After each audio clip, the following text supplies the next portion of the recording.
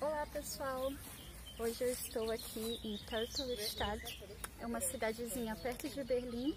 Estou agora no Kirschblütenallee, é a Alameda de Cerejeiras, como eu vou mostrar para vocês aqui. Hoje aqui em Berlim faz em torno de 26, 27 graus, dia super quente, maravilhoso.